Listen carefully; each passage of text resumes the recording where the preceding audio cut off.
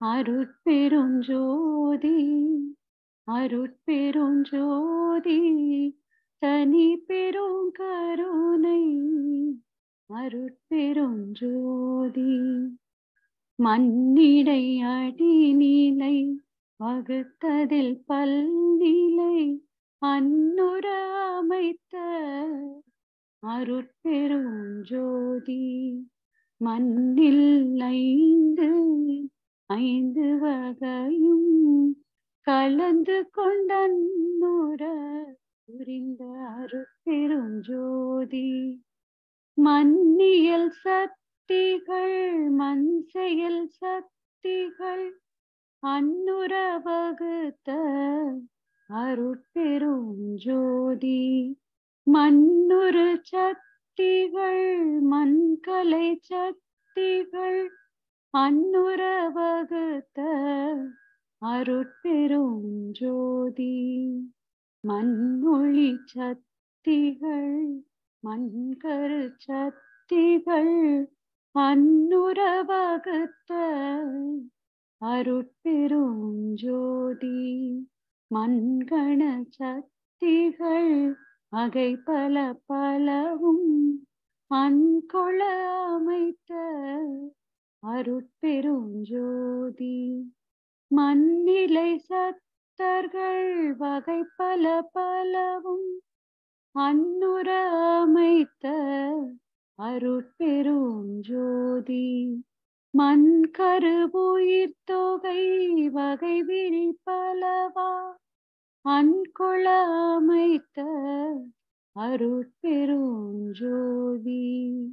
மண்ணினில் பொருள் பல வகை விரி வெவ்வேறு அன்னுர புரிந்த அருட்பெருஞ்சோதி அருட்பெருஞ்சோதி அருட்பெருஞ்சோதி தனி பெருங்கருணை அருட்பெருஞ்சோதி தனி பெரும் கருணை. பெருங்கருணை அருட்பெருஞ்சோதி இளைச்சி விண்ணப்பம். செறிவதில் மனத்தேன் காசிலே ஆசை செய்திலே நின்ற நாள் அன்றே. அறிவதில்லாத சிறு பருவத்தும் அடுத்தவர் கொடுத்த காசவர் மேல் எரிவதும் மேட்டில் எரிந்தும் எனக்குள் இருக்கின்ற நீ அறிந்ததுவே. பிரிவதில்லா நின் அருட்பெரும் பொருளை பெற்றவன் பேசுவதென்னே பெற்றவன் பேசுவதென்னே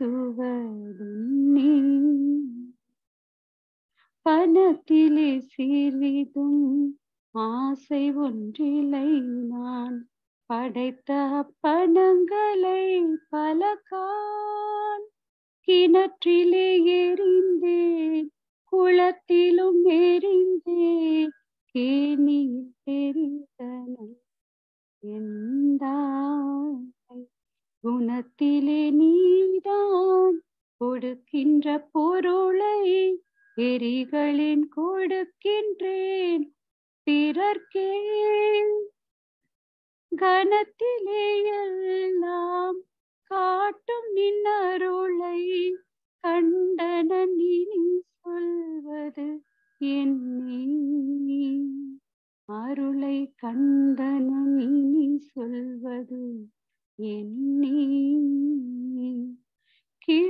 கிளைத்த உடம்பில் ஆசையில் அளவும் கிளைத்திலேன் பசியற உணவு திளைத்திடும் தோறும் வெறுப்படும் முன்பே இன்றும் வெறுப்பில் உண்கின்றேன். தலைத்திடும் உடைவூன் உடம்பொரு சிறிதும் தடித்திட நினைத்திலே இன்றும் இழைத்திட விழைகின்றேன் இது நான் தான் இயம்பல் என நீ அறிந்ததுவே. நான் தான் இயம்பல் என் நீ அறிந்ததுவே. அருட்பெருஞ்சோதி அருட்பெருஞ்சோதி. தனி பெரும் கருணை அருட்பெருஞ்சோதி அருட்பெருஞ்சோதி அருட்பெருஞ்சோதி தனி பெரும் கருணை அருட்பெருஞ்சோதி தனி பெரும் கருணை அருட்பெருஞ்சோதி.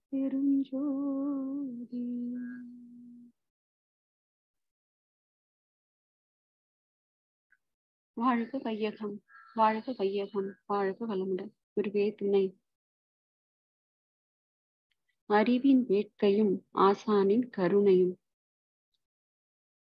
நித்தியமான ஒன்றை அறிந்தடைய நினைந்த பலன் குருவடைந்தேன். நித்தியமான ஒன்றை அறிந்தடைய நினைந்த பலன் உருவடைந்தே பத்து வித ஒழுக்க முறை பணித்துருதி என்னை கேட்டார் பத்து வித ஒழுக்க முறை பணித்துருதி என்னை கேட்டார் பதித்தேன் சத்தியம் உத்தமனாய் நில்லென்றார். உணர்த்தினார் ஓமை ஒலி ஓங்காரம். என் நெத்தியிலே கண் திறந்தார் நிலையான பொருள் காட்டி நினைக்க செய்தார். அத்துவித துவித நிலை அதற்குள்ளே அறிவித்தார். ஆசான் பெண்ணும் முத்தி பெறும் விதமுறைத்தார் முன்னிணைந்த நினைவெல்லாம் முடிப்பதற்கு ஒத்த வழி இல்லறமே முன்னிணைந்த நினைவெல்லாம் முடிப்பதற்கு ஒத்த வழி இல்லறமே. உயர்வானதென்றெனக்கு உணர்த்தி வைத்தார். அத்தனையும் என் அறிவில் பதித்தபடி அனுபவித்து அறிந்து விட்டே அனுபவித்து அறிந்து விட்டே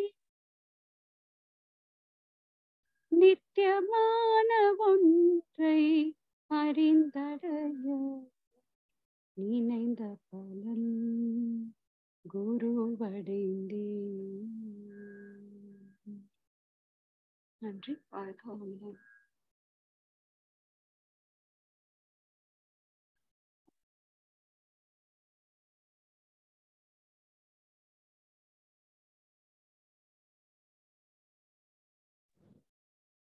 வாழ்க வளமுடன். குருவே துணை இறைவணக்கம். எல்லாம் வல்ல தெய்வமது. எங்கும் உள்ளது நீக்கமர. சொல்லா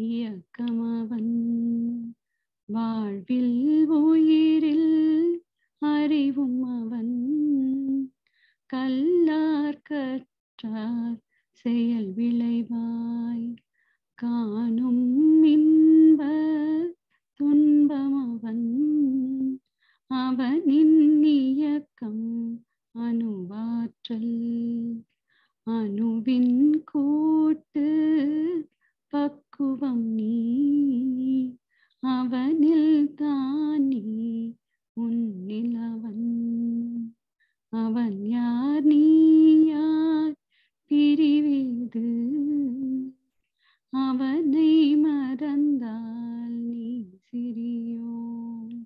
அவனை அறிந்தால் நீ பெரியோன்? அவன் நீ ஒன்றாய் அறிந்த இடம். அவன் நீ ஒன்றாய் அறிந்த இடம். அறிவு முழுமை அது முக்தி. அவன் நீ ஒன்றாய் அறிந்த இடம். அறிவு முழுமை அது முக்தி. அறிவு முழுமை அது முக்தி. குரு வணக்கம் எப்பொருளை எச்செயலை எக்குணத்தை இறை ஒருவர் அடிக்கடி நினைந்தால் அப்பொருளின் தன்மையதாய் நினைப்போராற்றல் அறிவினிலும்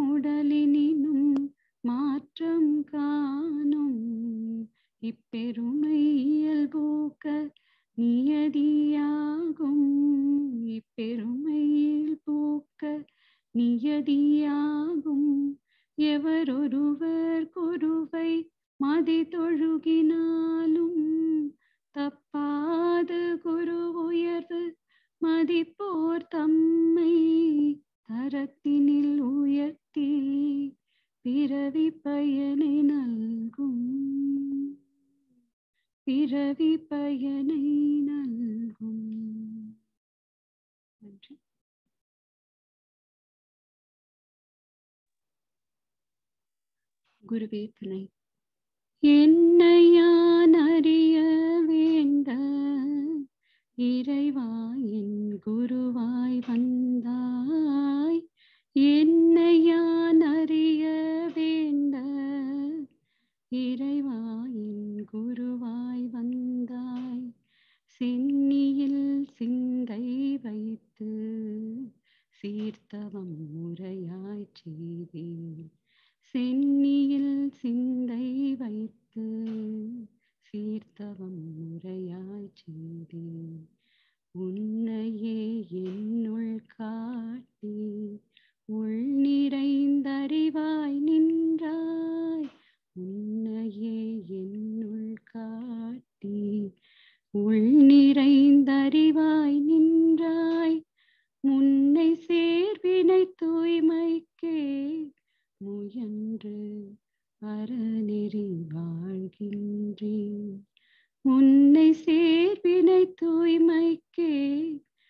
முயன்று அறநெறி வாழ்கின்றேன்.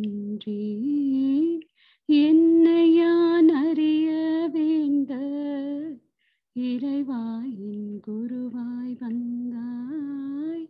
என்னை யான் அறிய வேண்ட இறைவாயின் குருவாய் வந்த நன்றி வாழ்க வளமுடன்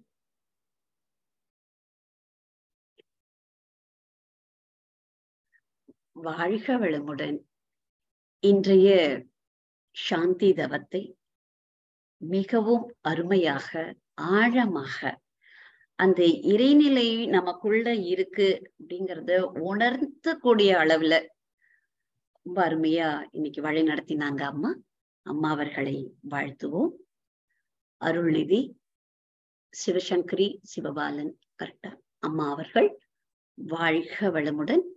அவர்களது அன்பு குடும்பம் வாழ்க வளமுடன். அவர்களது உடல் நலம் வாழ்க வளமுடன். அவர்களது ஆன்மீக தொண்டு வாழ்க வளமுடன். இறையருளும் குருவருளும் என்றென்றும் துணை நிற்கட்டும் அம்மா. வாழ்க வளமுடன். வாழ்க வளமுடன். பாடல்கள் பாடி நிறைவு செய்வோம். வேதாத்திரிய பாடல் அடியேன். பாடுகிறேன். உலக நல வாழ்த்து. அருள்நிதி பாக்கியலட்சுமி அம்மா. பிரம்மஞான கவி அருள்நிதி சிவசங்கரி சிவபாலம் வாழ்க வளமுடன். போரில்லா நல்லுலகம் பொருள் துறையில் சமநீதி. நேர்மையான நீதிமுறை நிலவுலகு கோராட்சி. சீ செய்த பண்பாடு சிந்தனையோர் வழிவாழ்வு. சிறப்புணர்ந்த வெண்மதிப்பு தெய்வநீதி வழிவாழ்தல். தேர் திருவிழா தவிர்த்தல் சிறுவர்கட்கே விளையாட்டு. செயல் விளைவு உணர்கல்வி சீர்காந்த நிலை விளக்கம் பார் முழுதும் உணவு நீர் பொதுவாக்கல். பல மதங்கள் பல கடவுள் பழக்கம் ஒழித்து உண்மை ஒன்றை தேர்ந்திடுதல். வாழ்க வளமுடன். பிரம்மஞான கவி. இறைவெளியே தன்னிருக்க சூழ்ந்தழுத்தும் ஆற்றல் இதன் திணிவு மடிப்பு விழ சுழலும் நுண்விண்ணாம். நிறைவெளியில் விண் சுழல நெருக்குகின்ற உரசல். நிலைவெளியில் எழுப்புகின்ற நேரலைகள் காந்தமாம். மறைபொருளாம் காந்தம் தன் மாத்திரைகள் ஐவகை மலைக்காதீர்வின் கூட்டம் மாபூதம் ஐந்துமாம். முறையாய் காந்த அலை மனமாம் உயிர் உடல்களில் மதி உயர்ந்து உண்மை பெற மா பிரம்ம ஞானமாம் மா பிரம்ம ஞானமாம். வாழ்க வளமுடன். வாழ்க வளமுடன். உலக நல்ல வாழ்த்து. உலகமெல்லாம் பருவமழை ஒத்தபடி பெய்யட்டும். உழவரெல்லாம் தானியத்தை உவப்புடனே பெருக்கட்டும். பல தொழில்கள் புரிகின்ற பாட்டாளி உயரட்டும். பகுத்துணர்வில் தொகுத்துணர்வு பண்பாட்டை உயர்த்தட்டும். கலகங்கள் போட்டி பகை கடந்து ஆட்சி நடக்கட்டும். கல்லாமை கடன் வறுமை களங்கங்கள் மறையட்டும். நல வாழ்வை அளிக்கும் மெய் ஞான ஒளி வீசட்டும். நம் கடமை அறவாழ்வின் நாட்டத்தே சிறக்கட்டும். நம் கடமை அறவாழ்வின் நாட்டத்தே சிறக்கட்டும். நம் கடமை அறவாழ்வின் நாட்டத்தே சிறக்கட்டும். வாழ்க வையகம் வாழ்க வையகம் வாழ்க வளமுடன். வாழ்க வளமுடன் வாழ்க வளமுடன் இன்றைய தவத்திலே கலந்து கொண்ட அன்பர்கள் தவத்தை வழிநடத்தியோர் நற்சிந்தனை வழங்கியோர். பாடல்கள் வாடியோர் அனைவரும் வாழ்க வளமுடன். அவர்தம் அன்பு குடும்பம் வாழ்க வளம் அவரது உடல் நலம் மனவளம் பொருள் வளம் அருட்தொண்டு ஆன்மீக தொண்டு. வாழ்க வளமுடன் வாழ்க வளமுடன் வாழ்க வளமுடன். இத்துடன் இன்றைய கால இதவ நிகழ்வு மகிழ்வோடும் நிகழ்வோடும் இனிதே நிறைவு பெறுகின்றது இறையருளும் குருவருளும் நம் அனைவரையும் எப்போதும் சூழ்ந்திருந்து இந்த இறைநிலை உணர்பயணத்திலே நம்மை சிறந்த முறையிலே வழிநடத்தட்டும் என்று அனைவரையும் வாழ்த்தி வணங்கி நன்றி கூறி அமைகிறேன். வாழ்க வையகம் வாழ்க வையகம் வாழ்க வளமுடன். வாழ்க வையகம் வாழ்க வையகம் வாழ்க வளமுடன். குரு புகழ் வாழ்க குருவே துணை. சிந்தனையை உடல் நலத்தை சீரமைத்து உய்வித்த குருவே அன்பே வாழ்க வளமுடன். இணைப்பில் இணைந்துள்ள சான்றோர் பெருமக்கள் அனைவருக்கும் வணக்கங்களும் வாழ்த்துக்களும் வாழ்க வளமுடன். இன்றைய ஞானக் களஞ்சிய கவி பாகம் ஒன்று கவியன் நானூற்று நான்கு வாழ வைக்கும் கடமை வாழும் உரிமை உலகில் எல்லோருக்கும் சமமே. வாழ வைக்கும் கடமையோ வகை தெரிந்த வல்லவர்க்கே.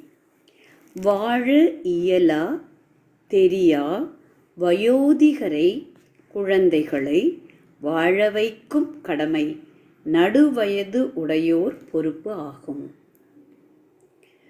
ஒரு சமுதாயத்தில் நல்ல ஒரு மாற்றம் வருடம்.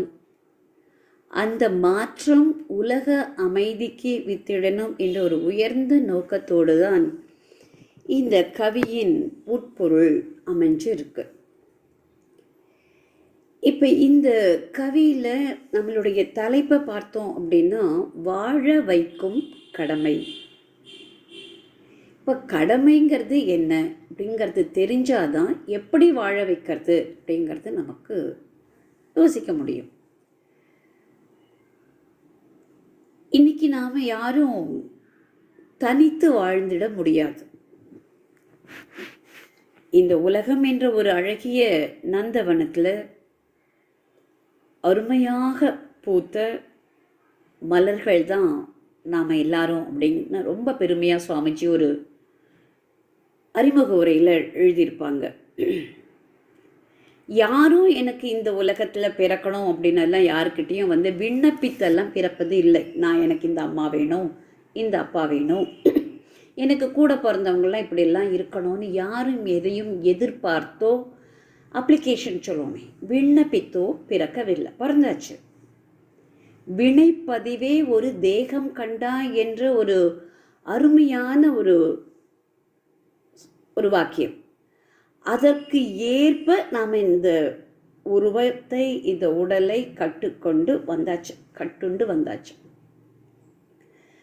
இப்போ நாம் என்ன செய்கிறோம் அப்படின்னா பிறந்தாச்சு மூணு கிலோலேருந்து இன்னைக்கு எழுபத்தஞ்சு கிலோ வரைக்கும் வந்தாச்சுன்னா இந்த சமுதாயத்தில் இருந்து தான் நாம் இந்த உடலையும் அறிவையும் பெற்றுக்கொண்டிருக்கோம். இப்போ உட்காந்து அழகாக பேசுகிறோம் எல்லாத்தையும் அனுபவிக்கிறோம் அப்படின்னா இது அதுவுமே தானாக வந்ததில்லை. தானாக வளர்ந்தது இல்லை. இந்த சமுதாயத்தில் இருந்து தான் பெற்றுக்கொண்டோம் ரொம்ப அழகாக சுவாமிஜி சொல்லும்போது சொல்லுவாங்க கடமை என்ற வார்த்தையே கடன் மை விகுதி பெற்று கமு கடமையாச்சு அப்படின்னு. அதாவது இந்த சமுதாயத்தில் இருந்து நம்ம பெற்றது. அதையுமே அழகாக சொல்லியிருப்பாங்க. உருவாக்கி வளர்த்த அறிவை உருவாக்கி வளர்த்த அறிவை உயர்த்தி என்றும் உயிர் வாழ வசதி தரும் சமூகத்திற்கு ஒரு மனிதன் உடல் அறிவால் ஆற்றவுள்ள உயர் நோக்க செயல்கள் எல்லாம் கடமையாகும் அப்படின்னு சொல்லியிருப்பாங்க. இப்போ கடமை அப்படிங்கிறது என்னென்னா இந்த சமுதாயத்திற்கு நாம் திருப்பி கொடுக்கணும் அப்படிங்கிறது தான். எப்போ கொடுக்கணும்? அது அழகாக கடைசி லைனில் சொல்லியிருக்காங்க நடு வயது உடையோர் பொறுப்பாகும். ஏன் அப்போ அப்படி சொல்கிறாங்க நடு வயது உடையோர் பொறுப்புன்னு ஏன் சொல்கிறாங்க ஒரு குறி பிறந்தது உடனே நம்ம இன்னொருத்தருக்கெல்லாம் ஹெல்ப் எல்லாம் பண்ண முடியாது. உதவியெல்லாம் செய்ய முடியாது. நமக்கும் படிக்கணும். அப்புறம் ஒரு உத்தியோகத்துக்கு போகணும். அந்த காலகட்டம் வரும் வரை நாம் இந்த சமுதாயத்தை சமுதாயத்திலிருந்து தான் நமக்கு வேணுங்கிறதெல்லாம் வாங்கி வளர்ந்து நம்மளுடைய அறிவையும் வளர்த்து கொண்டு இருக்கிறோம் பெற்றுக்கொண்டே இருக்கும். அதே மாதிரி இங்கே வாழ முடியாதோருங்கிற வரிசையில் வயோதிகரை இங்கே கொண்டு வந்து நிறுத்திட்டாங்க. வாழ இயலா ஒன்று வாழ தெரியாதவங்க ரெண்டு வாழ முடி அதாவது வாழ்ந்து முடித்து அந்த வயோதிக நிலை அப்புறம் குழந்தைகள். அப்போ அந்த நாலு பேர் நிலையிலையும் நம்ம ஒன்றும் பண்ண முடியாது. அப்போ யாரு தான் பண்ண முடியும்? நடு வயது உடையோர் பண்ண முடியும். அப்போ அந்த இருபத்தஞ்சு வயசு நமக்கு நல்ல ஒரு சம்பாத்தியம் ஆரம்பிக்கக்கூடிய அந்த வயசில் இருந்து நம்ம சம்பாத்தியம் எல்லாம் முடிச்சு இன்- இனிமே என்னால் முடியாதுங்கிற வயது வரும் வரை நாம் செய்ய வேண்டிய கடமைகளை செய்யணும். இந்த சமுதாயத்துக்கு என்னால் என்ன முடியுமோ அதெல்லாம் செய்யணும். அதையுமே சுவாமிஜி ரொம்ப அழகாக ஒரு கவிதையில் சொல்லியிருப்பாங்க. உற்ற செல்வம் உடல் உழைப்பு அறிவு இவை கொண்டு உலகினிற்கே அருள் தொண்டாற்றி மகிழ்வோம் அப்படின்னு. இன்னைக்கு என்னுடைய சம்பாத்தியம் என்னுடைய வருமானம் எனக்கு என் குடும்பத்திற்கு போதுமான அளவிற்கு இருக்கு. அதற்கு மேலும் வருது அப்படின்னா இரையாற்றல். எனக்கு என்ன சொல்லியிருக்கு அப்படின்னா இதை பிறருக்கு கொடுத்து விடு அப்படிங்கிறத அந்த உயர்ந்த நோக்கம் நமக்கு வரணும். அப்போ நல்ல உற்ற செல்வம் இருந்தால் கொடுக்குறோம். இல்லை என்னுடைய வருமானம் அதற்கு மேலே இல்லை எனக்கு சரியாக இருக்குது அப்படின்னா உடல் உழைப்பு. எங்கே வேணாலும் யாருக்கு வேணாலும் எந்த சமயமாக இருந்தாலும் என்னால் முடிந்த உதவிகளை நான் செய்வேன் அப்படிங்கிறது தான். இப்போ சுவாமிஜியுடைய அம்மா நம்மளது லோகாம்பாள் அம்மையார் அவங்க எல்லாருமே அப்படிதான். ஏழ்மை அப்படிங்கிறது ஒரு காரணமாகவே அங்கே இருந்ததே கிடையாது. யாருக்கு எப்போ எந்த வீட்டில் பிரசவிக்கக்கூடிய ஒரு சூழல்ல இருந்து அங்கே போய் இவங்களால் தெரிந்த வைத்தியத்தை அவங்களுக்கெல்லாம் செய்வாங்க. அப்படியெல்லாம் உழைக்கணுமா அப்படின்னு சொல்லும்போது ரொம்ப சாதாரணமாக சொல்லிட்டு போவாங்க. ஏமா வந்து தூக்கிட்டு போகும்போது இந்த உடம்பை எடை போட்டால் பார்க்க போகிறான் அப்படின்னு ரொம்ப. அப்போது அந்த மாதிரியெல்லாம் அதாவது உதவி செய்யணும் கடமை செய்யணும் அப்படிங்கிற எண்ணம் நமக்குள்ளே வந்தாச்சுன்னா காலம் நேரம் இ- யாருக்கு செய்கிறோம் ஏங்கிறது எண்ணமே நமக்கு வராது. செய்ய வேண்டும் என்ற ஒரே ஒன்- எண்ணம் தான் நமக்கு இருக்கும். அதனால தான் நடுவயதோர் அப்படிங்கிறத இங்கே சொல்லியிருக்காங்க. சரி இப்போ கொஞ்சம் முதல் வரைக்கும் போவோம். இப்படி வந்தாச்சு கடமை அப்படின்னா என்னன்னு தெரிஞ்சாச்சு. இப்போ வாழ வைக்கும் கடமை யாருக்கு? வகை தெரிந்த வல்லவர்க்கே. வகை அது என்ன வகை?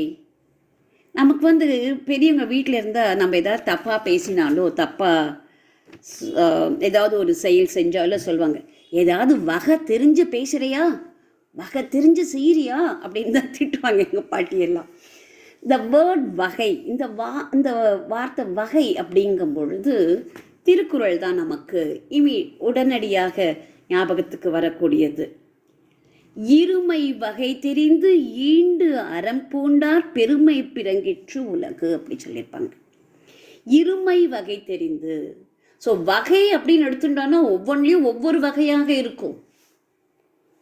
காய்கறியில் பல வகை இல்லையா? புத்தகங்கள் பல வகை எல்லாமே பல வகை. ஆனால் இங்கே நமக்கு வேண்டிய இந்த வல்லவர்க்கே அப்படின்னா அந்த வல்லவர்க்கு எந்த வகை தெரிந்திருக்க வேண்டும்? இருமை வகை தெரிந்திருக்க வேண்டும்.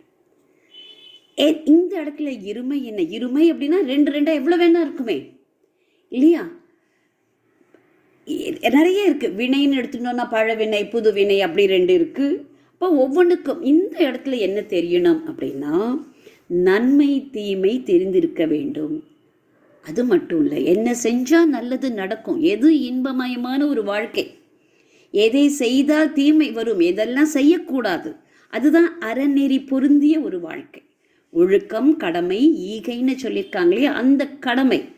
இப்போ அதுதான் நமக்கு இதில் இந்த அறநெறி பொருந்திய வாழ்க்கையில் கடமைங்கிறது தான் இப்போ நமக்கு ஒரு ஹைலைட்டாக நம்ம பார்த்துட்ருக்கோம். ஆனால் அறநெறி பொருந்திய ஒரு வாழ்க்கையை உணர்ந்தவர்கள் தான் வல்லவர்கள். அவர்கள் அப்போ அது மாதிரி தான் நமக்கு இங்கே சுவாமிஜி. நீ என்ன செய்யணும்? நீ இப்போ செஞ்சியானா இந்த இப்போ எப்படி இருக்கும் அப்படிங்கிறதே சுவாமியை இன்னும் எப்படி பிரிச்சிருப்பாங்கன்னா அந்த வகை அப்படிங்கிறது இப்போ பிறந்துட்டோம். இப்போ நம்ம என்ன செஞ்சோம் அப்படின்னா நமக்கு வீடு பேருங்கிறது கிடைக்கும். வாழும் காலம் வீடு பேரு முழுமை பேரு அப்படிங்கிறது தான். இப்போ வாழும் காலத்தில் கடமை உணர்ந்து வாழ்ந்தோம் அப்படின்னா முழுமை பேரு முக்தி என்பது தனியாக போய் தேட வேண்டிய அவசியம் இல்லை. ஸோ அந்த வகை தெரிஞ்சிருக்கணும். அப்படியெல்லாம் யார் இருந்தாங்களோ? அறம் பூண்டார். அறநெறி பொருந்திய ஒரு வாழ்க்கையை வாழ்ந்து கண்டவர்கள். பெருமை பிறங்கிட்டு உலக அவங்களால தான் இந்த உலகமே இன்று என்ன சொல்றது? உய்வதற்கு வழிகாட்டி கொண்டு இருக்கிறது அப்படின்னு சொல்லலாம். அதுதான் பெருமைக்கு உரியதாகவும் இருக்கு அப்படிங்கிறது. ஆக இப்போ நம்ம இதில் என்ன பார்த்துட்டோம்? வகை தெரிந்த வல்லவர்கள்னா யாருன்னு பார்த்துட்டோம்? ஏன் நமக்கு நடுவயது உடையோர் தான் செய்யணுங்கிறதையும் பார்த்துட்டோம். இப்போ வாழும் உர உரிமை உலகில் எல்லோருக்கும் சமமே அப்படின்னா முதல்ல ஆரம்பத்தில் சொன்ன மாதிரி யாரும் விண்ணப்பிச்சு வரல வந்தாச்சு.